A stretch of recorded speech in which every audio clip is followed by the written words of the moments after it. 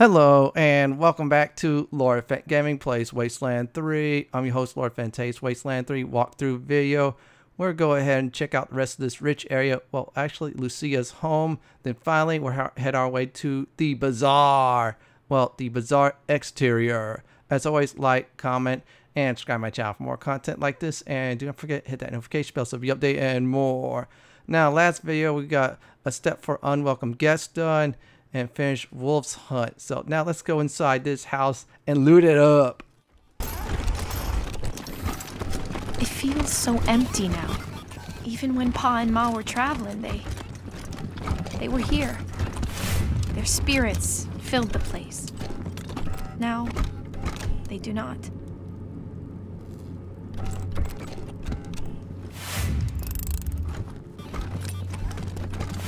Mama used to love sitting in here. She'd be ashamed at the mess it's in now.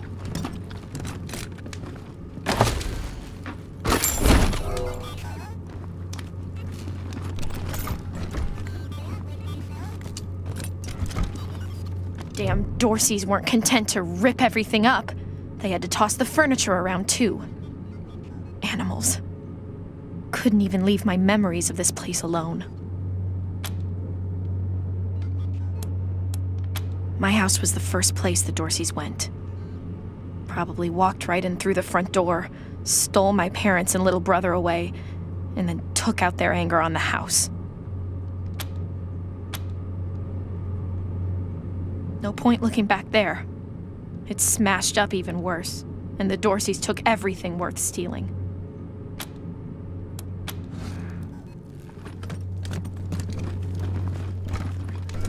Mama used to love sitting in here. She'd be ashamed at the mess it's in now.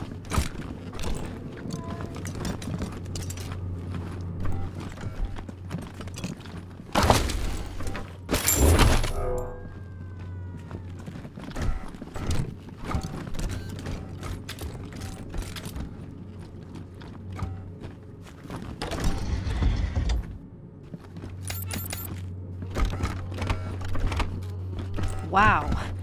Daddy really didn't want any Dorseys to muck around with his cooking supplies.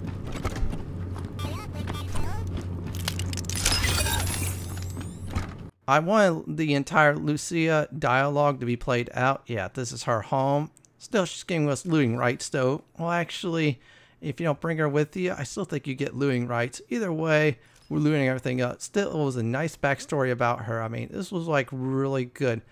Unfortunately, I do not have six in explosives. However, I got enough for toaster repair.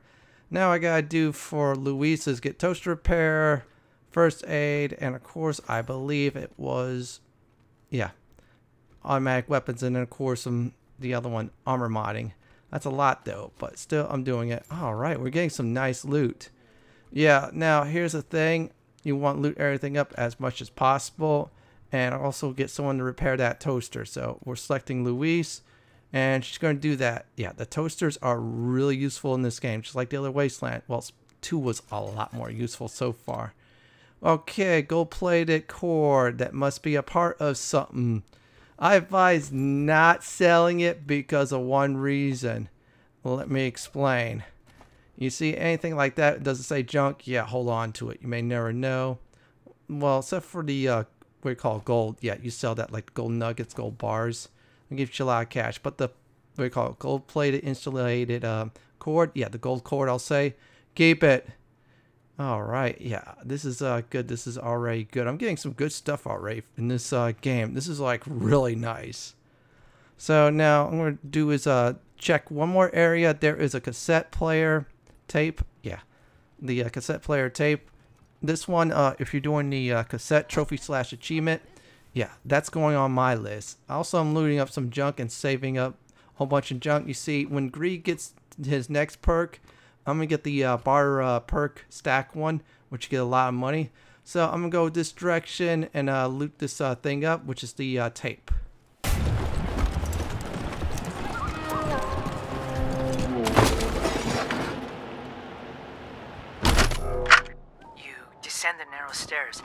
Find the door to the bunker slightly ajar. I, I listen at the door. Make uh, a perception roll. It's awful dark out here. Maybe we should go inside. This was your idea. You said it would be cool to play a game in the park. I got a 15! Do I hear anything? You hear a faint scraping sound inside. Uh, Like the sound of a skeletal foot dragging across stone. It's coming closer. Did you hear that? It's just the wind. Ah! A pale dog! There's a pale dog watching us! What? Where? I don't see. It's coming after us! Run! Now, kids, here's your lesson.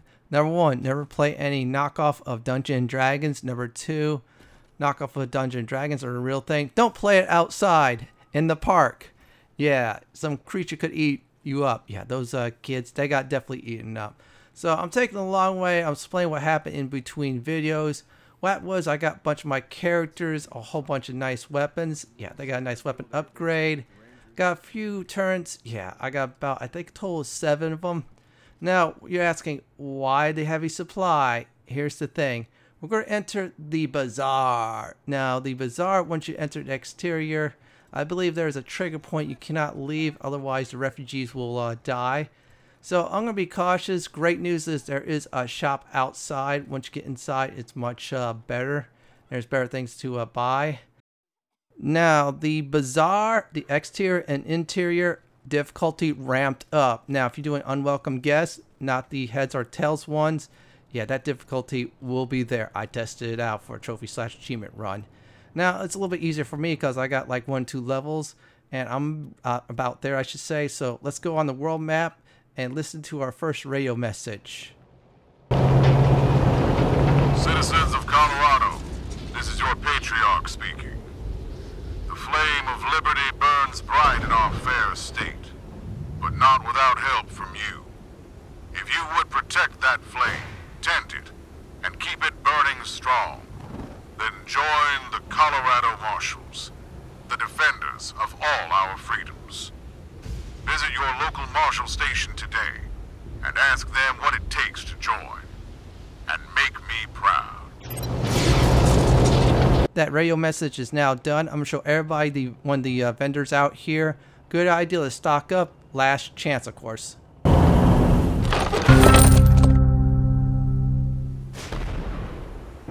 Don't know who you are, but if you ain't looking for trouble, I got some stuff to trade.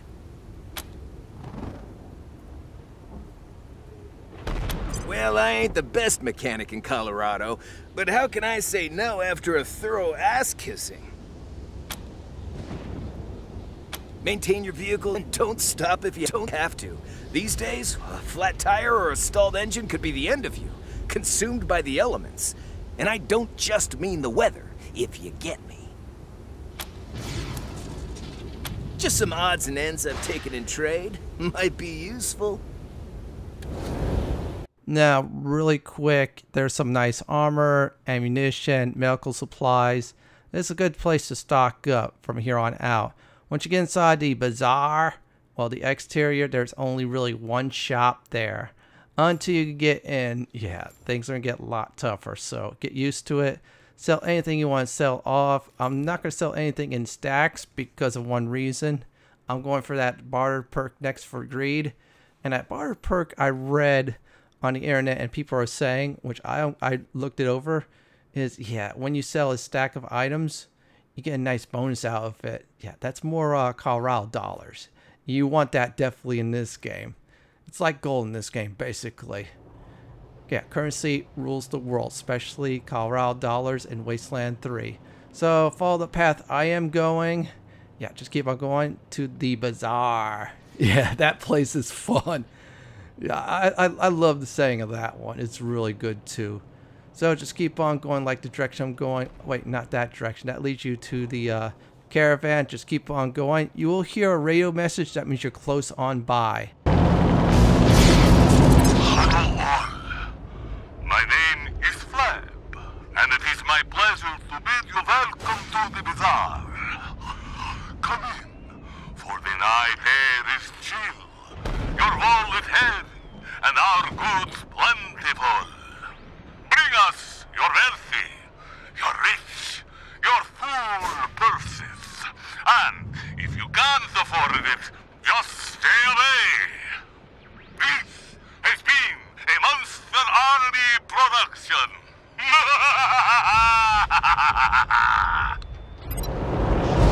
there you go, everyone. Yeah, we uh, did it. We went through. Now, this is the same guy I talked to last time. It's a little bit of a delay on the PlayStation 4, which is weird. It kind of cut off the sound a little bit. Still, we found the same guy. Like I said, last chance. I don't need anything from him. I was just seeing if there's something else. He does appear often, so that's the uh, good news. So I'm going to do is just keep on going, just keep on moving on ahead. If there's any random encounters, I am definitely going to skip it for this uh, Let's Play series. Because I just want to get to the action. Okay, you see these, uh, what do you call it, crates? You either have to disarm them or, uh, what do you call it, get some junk like I did. And look at that, Emily spotted. Drools I would have fought, but like I said, I want to get to the Bizarre really quick. And I am not keen to waste my ammunition. I have enough for uh, at least the exterior, but here's the thing. I gotta be really careful. And we have arrived at the Bizarre. So once we go inside, there'll be a person we will have to talk to. So I'm gonna let the conversation go on. I'll return afterwards. Madam, please. I assure you, your Bizarre shopping experience is completely safe. You may have folks fooled, Ananda, but not me. I know something is fishy here, and I'm leaving. Shame. Ah, over here, friends. Welcome.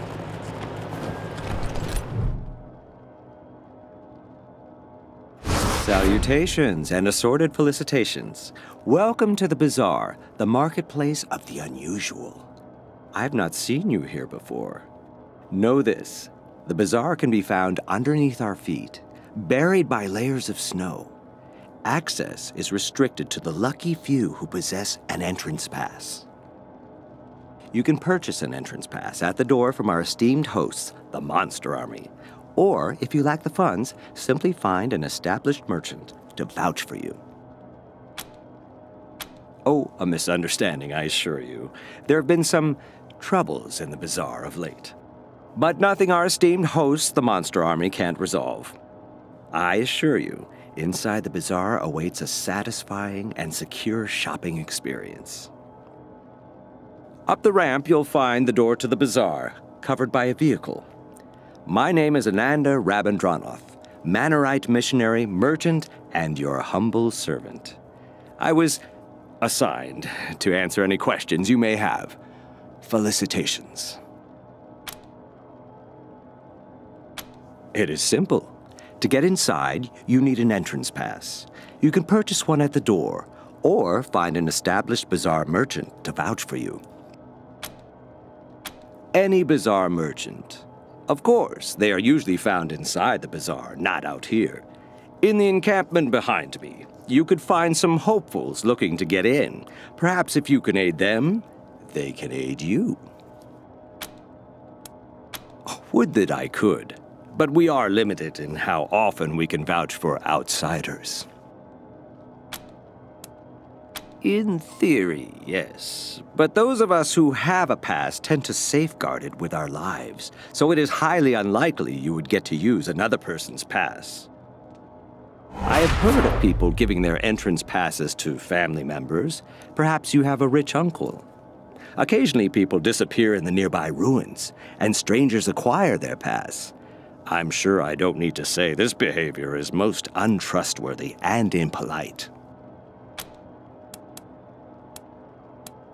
I can only hope I will have the answers you seek.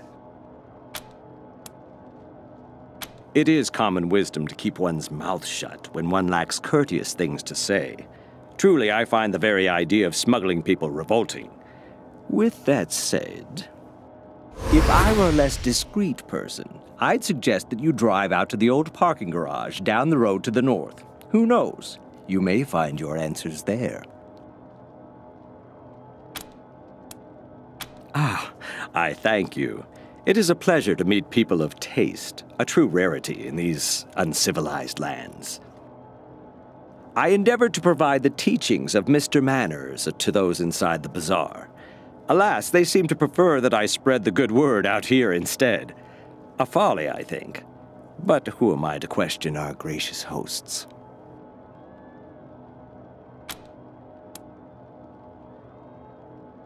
You do seem like people of refined taste, without a doubt. But a man of class does not abandon his employer at an inopportune moment. I don't wish to speak out of turn, but this is a dangerous time for the Bizarre. Friends, go inside, speak to Mr. Jacob Martin, or as others call him, Flab. When the Bizarre is safe again, my conscience will be clear, and I will be most pleased to join you. Naturally, I have a variety of goods for sale that could suit your needs. But let's not barter out here in the cold. Join me in the warmth and security of our encampment. This way, friends.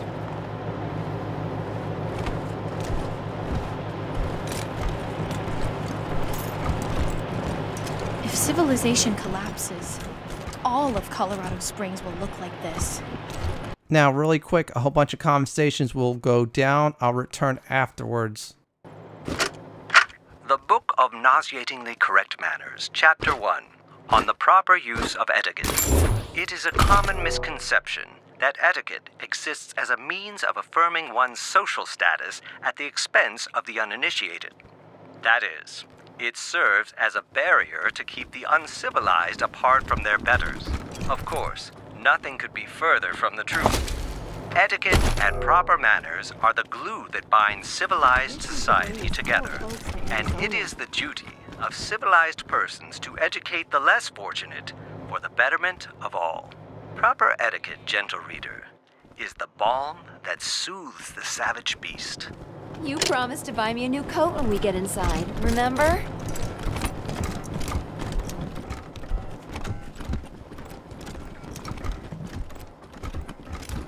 Aha! I see you have come from afar. Well, your travels are amply rewarded, for you have reached the one and only, the seer of fortunes and teller of truths, the great Gurn. Yes, I know, I know. Your ears can scarce believe what you're seeing. Ah, but it is indeed I, ready to tell your fortunes. Wisely chosen. Those who do not prepare for the future are clowns. To begin, you must think of your favorite color. Concentrate solely on the color. Let the color completely fill your mind. Estás ready? I see an ocean of waves. Your color is blue. Apologies. I was impatient. Uh, now I see you're riding the waves toward the warmth of a red sun. It must be so. Red is the color you are thinking. Of course, of course, the story is not done. it's not blue waves you are riding, it's blue ice. And the red sun, it is not you that moves toward it. It's the red flames that fly towards you. Uh, but then there is peace, and you are surrounded by trees, many green trees. Green must be the color you were thinking of. Relájate. Uh, it is not your fault. With time comes knowledge, and with knowledge comes clarity.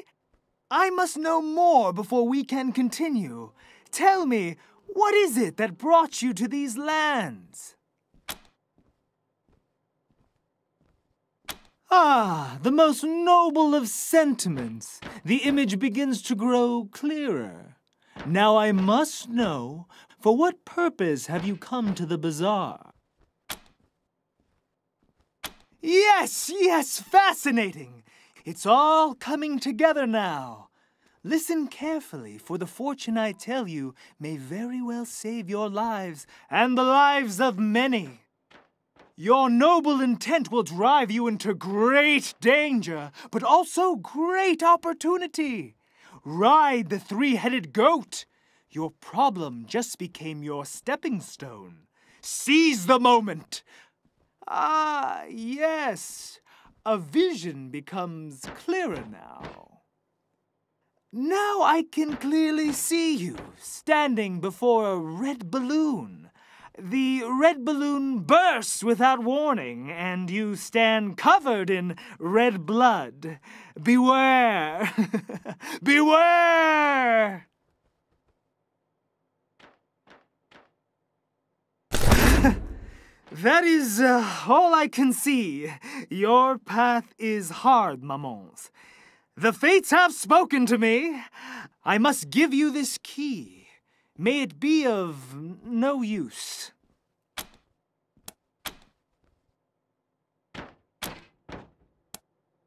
Uh, Flab is a cabron who wouldn't recognize talent if it bit him in the belly. He claims the monster army already has some kind of mechanical fortune teller. But how could a machine possibly match my intuition? My gift? My panache?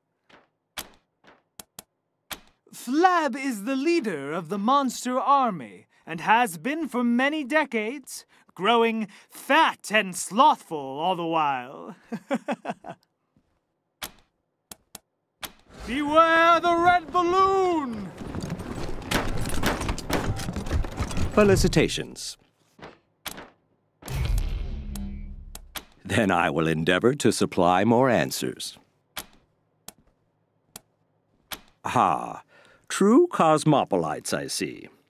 Indeed, a Mannerite is one of the rare few fortunate enough to operate under the auspice of Mr. Manners, proponent of good behavior in these ugly times. Most of us reside in Angel Oracle, but I chose to travel and spread the word. We Mannerites believe that poise is only second to godliness. To live is to comport oneself with exquisite grace. If you're curious, I'd be more than happy to supply a copy of our holiest scripture, the Book of Nauseatingly Correct Manners. May it help you as much as it did me, and find your path to a life of civility.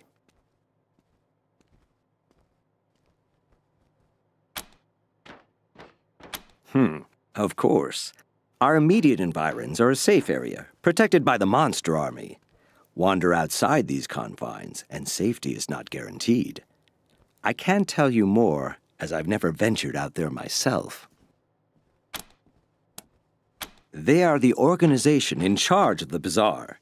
I've heard tales that once they were truly a monstrous gang, spreading fear all throughout Colorado. I'm happy to tell you that their current incarnation is much more sophisticated and civilized, though they have a ways to go. They are led by Mr. Jacob Martin, colloquially known as Flab the Inhaler, a man who has truly embraced his position and leads this place with panache. I do wish he had a better tailor, though. You can find him inside the Bizarre proper, as he rarely ventures outside. I can only hope I will have the answers you seek. But of course. Yeah, a lot of things happened. First of all, I found a Cabbage Patch doll. I want a Garbage Pail Kid doll. Instead, I got a Cabbage Patch Kid. Oh well. I didn't sell it. I'll just keep on to it. Use it as a lucky charm. There's some nice supplies. It's just like the, uh, what I call outside vendor, minus the armor. Now, next up, we're going to visit Larry. Yeah, we're going to purchase a bird from him. Not any bird, Polly. Yeah, we're going to add Polly to the team. I'm going to make myself another challenge. Not only one, two animals, but three of them. I'm going to try to reach to the end. So here we go on this one. Howdy, strangers. Name Six Fingered Larry. Hunter. Though it seems you find me plumb out of wares. Him? you don't want him. Barrett's got a bit of an attitude problem. Tried to peck his way through a kid's skull the other week. If you insist, though, You'll have to talk to Polly yourself because I got no say in what he's going to do. All right. It's your funeral. Hey, Polly, you hear that, old buddy? These fine folks would like to adopt you. How's that sound? Larry, my buddy, my pal. Come closer. I'll show you how it sounds to me. Ah! Oh, shit! Damn it! That's how it fucking sounds to me, Larry. Sounds like some fucking bullshit. Ah! Wasting your time with this asshole. Talk to Polly. Talk to Polly. Polly wants you to gag on weak old shit leaking from a dead guy's ass. Ah! Piss off, Shitsmear. Piss off. Listen, shit for brains. Someone has to stick around to make Larry's life miserable. That's my job. I love that job. You hear that, Larry? Fuck you! I. Well, shit, you're right. You circus reject. I mean, you look like someone grafted a squid to a diseased vulva. But when you're right, you are right. Hey, Larry, I'm leaving. All right. He's yours if you pay the price. This sounds about fair, don't you think? Hell no! hey, jizz for brains, Larry. Give them a discount or I'll fill your pie hole with parrot piss while you sleep. Give me a second. Give me a second. I'm trying here. All right. All right. That price was a little high. How about this? Yeah, something's not right with you. But you have my respect.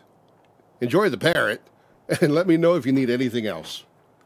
Yes, finally free at last! Larry! Larry, you shit flake! At last I can tell you with complete sincerity! Fuck you! Yep, that was some uh, good things. I got a nice bird out of it.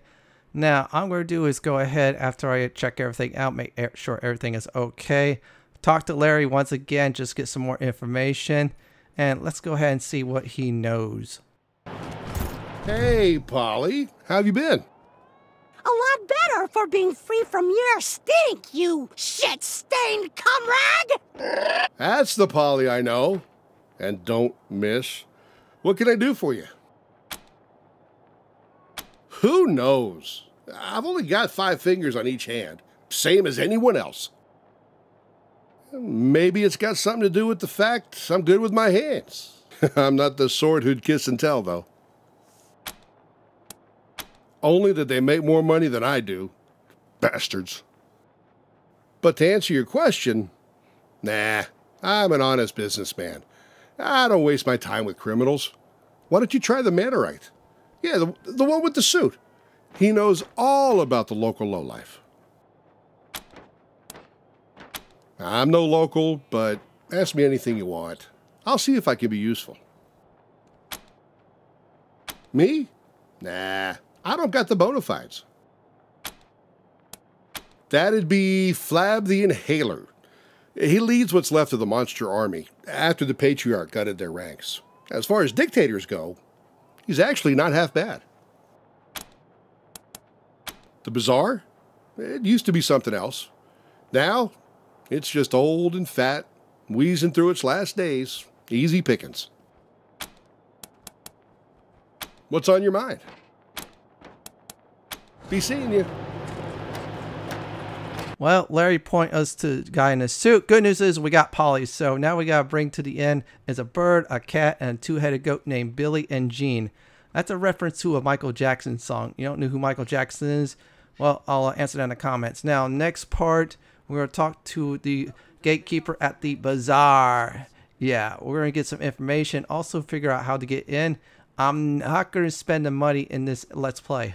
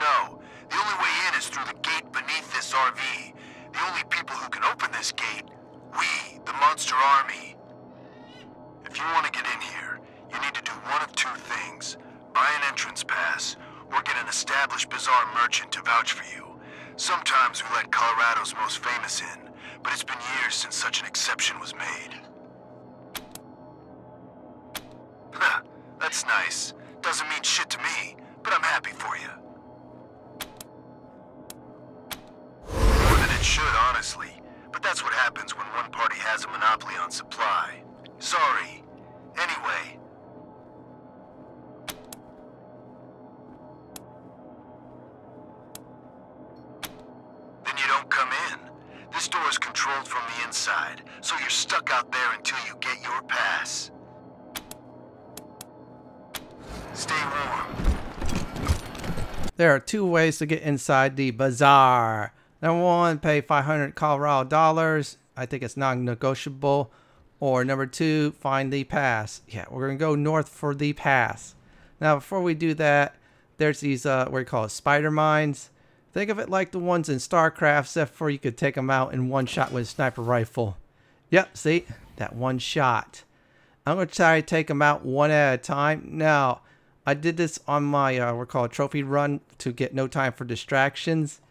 I just ran through it one time. They hurt. I mean, seriously, they hit hard. Yeah, see, they hit very, very hard. Now, here's the thing. We're going to keep on going a little bit, keep on chewing out mines. There'll be radio messages throughout this entire area. One of them, I will have to edit out the music. Yeah, it's copyrighted. But still, the first one isn't. And you get a preview of our enemies in this area. And here we go on the first one. Senor Bubbles! Where you at, payaso? The pigs are getting hungry. Went up top for a food run. Got a mamon who took a wrong turn, and I'm bringing him back now. Órale! I'll get the cleavers ready. As I'm clearing out more spider mines, there'll be another radio message. This time's from DJ Rip. Unfortunately, it's a copyright music at one part, so let's listen on the radio. DJ RIP is back! Are y'all listening? This one is for the newly in love. Hope your heart's not gonna bleed too much. And the music in question, I think it's Monster Mash. It's been a long time since I listened to it. It fits with the Bizarre. Now, if I see someone dress up like Elvira, yeah, I'm gonna freak out. Seriously. That's part of my childhood. Now, I'm going to go ahead and clear out rest of these spider mines before crossing the bridge. I do not want another factor in the next video, another battle. Okay, I got one. Let me try to shoot the other. That's a critical miss, everyone. Even though I got awareness to 10, still. I'll probably have to get sniper rifles up just to get a perfect shot. And let's see here. I'm going to try to do is take out the spider mine before we all get mauled by it. Now, I did uh, give Greed, uh, we call it, revolvers. If any pistols, we're called small, I should say small guns from here on out, will be pistol related. You're asking, why is that? Yeah, Lucia Wesson, everyone. She's a really good character. She would have been my number seven if they would have had uh, what called the third companion. They did that in Wasteland uh, 2, and that was really good. Yeah, I love my Ralphie, Rose, and Scotch in that game. And we uh, took out the uh, enemy within one round. If we didn't do it, we would have taken damage, and what we call it, squishies like Lucia would have died. Oh, that's not bad. That's some good stuff to sell. All right, more uh, junk. I'll probably sell that between, what we call it, takes. Now, there's a wolf. That's another animal to uh, tame. I'm going to be uh, careful on that. Now, I have to make sure there's an item for uh, someone else to tame it. I might consider bring that, what you call there, just tame it. So this way, I could do it as long as it has uh, one animal taming. I'll have someone like Greed have a wolf. There'll be four animals.